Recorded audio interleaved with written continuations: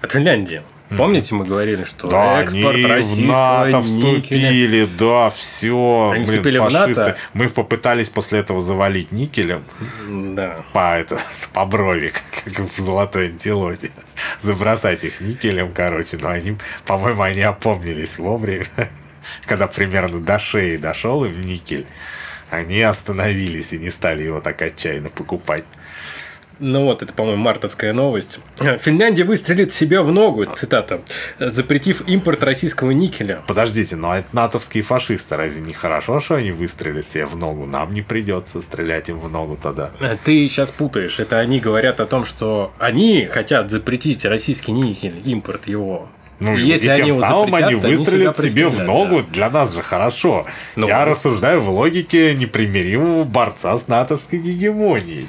Если какие-то натовцы решили себе ногу прострелить, мне это хорошо только, да? Сталин бы обрадовался, если бы Гитлер себе из парабеллума там выстрелил бы ну, в колено.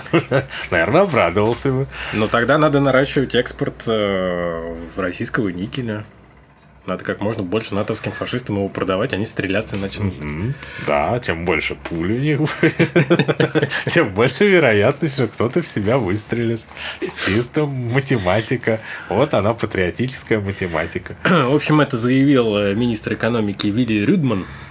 Хорошая санкция это та, которая больше бьет по цели, чем по тому, кто ее вводит. Хорошая санкция – это та, с которой мне на счет капает, сказал министр.